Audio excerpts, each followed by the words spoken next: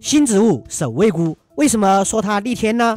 守卫菇属于在河家族植物，阳光消耗两百，冷却三十秒，生命值一千一，攻击八百，这是在河加强后的属性。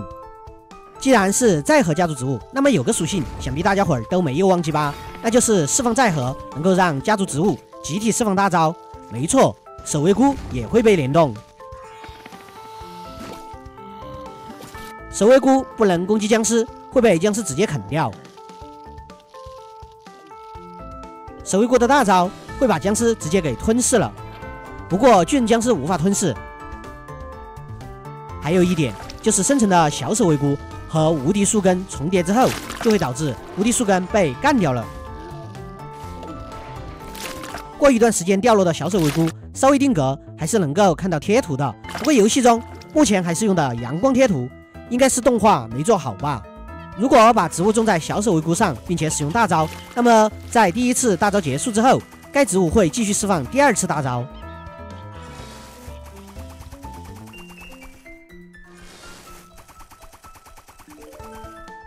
这让我想起了中文版的粉丝星叶兰。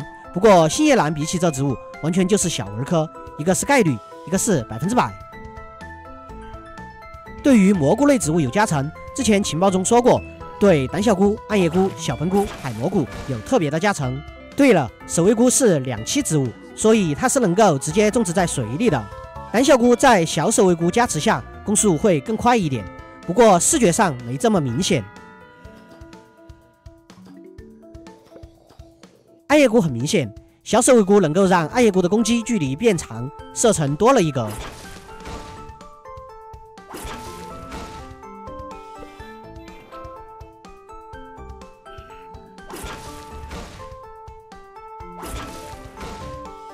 海蘑菇和小喷菇搭配这个小守卫菇，到处都是大招。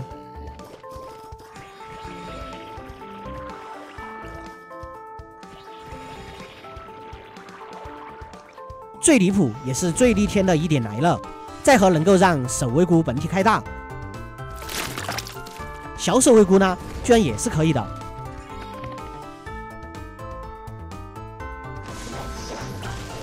所以说，这就形成了。如果把所有小守卫菇都种上植物，一个载荷用出，全屏的植物都同时开大了，效果堪比瓷砖萝卜，但却完全是不需要种这么多萝卜。